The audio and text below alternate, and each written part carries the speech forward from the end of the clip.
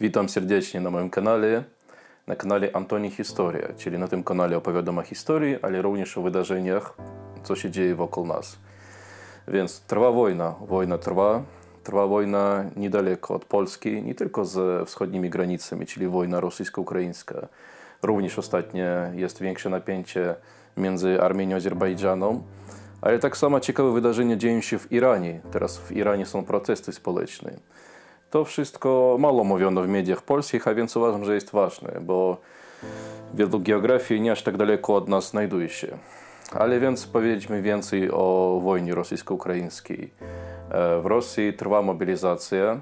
Teraz coraz więcej młodych ludzi w wieku od 18 do 50 lat zbierane są do wojska. Ale zbierane nie tylko specjaliści, ci ludzie z doświadczeniem, a również e, chłopacy, którzy nigdy w wojsku nie byli. Ja mam kontakty w Rosji i mam już dwóch znajomych, który, których próbowali wziąć do wojska, wbrew temu, że oni nigdy nie służyli w armii. E, takoż jednego ojciec nie puścił nawet. Nie wiem, co będzie dalej, ale w Rosji istnieje jakaś wreszcie jakaś reakcja protestu. Około 7-8 wojenkomatów zostało podpalone. Podpalone wojenkomaty, no wojenkomaty to miejsca poboru żołnierzy, więc również było wydarzenie na przykład w obwodzie irkuckim, to tam na Syberii, że młody człowiek, którego był wziąt, którego wzięli do poboru, zastrzelił komisara wojskowego. Mobilizacja trwała w ogóle w ciekawy sposób, taki nietypowy bo najwięcej ludzi mobilizują z regionów etnicznych w Rosji, teraz z Kawkazu, na przykład w Dagestanie albo Republiki Karaciewo-Czerkieskiej, nawet były protesty. I protesty poważne, na przykład kobiety Dagestanu nie chcieli swoich mężów oddawać, a nawet religijni przedstawiciele, czyli mully, wychodzili z takim z roszczeniem o tym, że to nie nasza wojna, to jakby oni muzułmanie nie powinni mieć udział w wojnie między chrześcijańskimi narodami. W sumie zobaczymy, co będzie z tego dalej. Jednak wychodzi na to, że mm, niektóre narody muzułmańskie mają nawet więcej takiej odwagi nie pójść do komisariatu wojskowego niż Rosjanie, bo wśród Rosjan e, dużo ludzi i tak przyszło.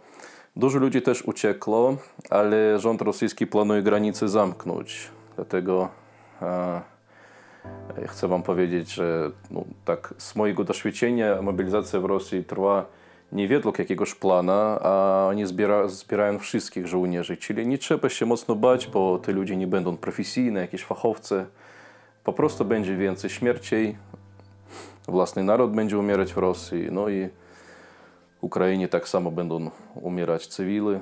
No, zobaczymy co będzie dalej. Dlaczego uważam, że ten temat ważny jest dla Polski, dla Polaków? Nie tylko z powodu tego, żeby współczuwać narodu ukraińskiemu na przykład, albo nawet współczuć Rosjanom, którzy nie chcą walczyć. Naprawdę dużo ludzi teraz nie chcą iść na wojnę.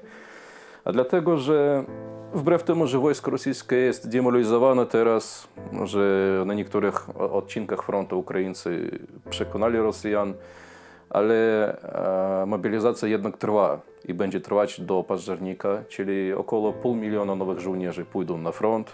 Wbrew temu, że nie będą oni może być jakoś wybitnie walczyć, dobrze zmagać się, jednak część z nich będzie wykonywać rozkazy. I projekt rosyjskiego mira, rosyjskiej cywilizacji tak zwanej, on nie skończy się na Ukrainie. W niego wchodzą też terytorium Białorusi, Polski, Litwy, i tych terytoriów, które za czas cariata byli rosyjskimi. Dlatego trzeba szykować się do gorszego. Ale też nie trzeba się bać tego wojska, bo e, warto po prostu z informacji śledzić jakoś za nową informacją. To, co chciałbym Wam powiedzieć. Zachęcam do śledzenia mojego kanału Antoni Historia, aby być na bieżąco za wydarzeniami z, ze wschodniej granicy. Do usłyszenia.